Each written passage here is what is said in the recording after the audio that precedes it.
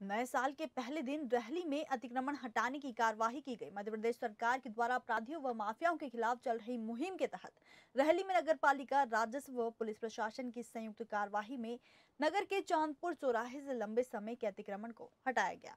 नगर पालिका के अमले ने जेसीबी मशीन से सुबह दस बजे से अतिक्रमण हटाने की कार्यवाही एसडीएम के निर्देशन में शुरू की। इस दौरान भारी पुलिस बल व राजस्व अमला कार्यवाही पर अपनी नज़र बनाए रहे। कार्यवाही के दौरान चांदपुरा चौराहे पर आदतन अपराधियों के द्वारा किए गए अतिक्रमण के साथ साथ सड़क किनारे अपनी दुकानों के आगे टीन शेड बनाकर अतिक्रमण को भी हटाया गया। ऐसे निर्देश हैं कि जो माफिया हैं या आपराधिक प्रवृत्ति वाले लोग हैं और उन्होंने शासन की जो बहुमूल्य ज़मीन है उस पर अतिक्रमण करके रखा है, उसको हटाया जाना है। उसी के निर्देश में ही रहली में रहली में चांदपुर तिराहे पर एक महेश पटेल हैं, जिनके खिलाफ बीस से ज़्यादा आपराधिक प्रकरण दर्ज थे और उन्हीं के पास में एक राजा यादव का जो ये लोग ढाबा संचालित कर रहे थे और अवैध गतिविधियाँ संचालित कर रहे थे वहाँ पर।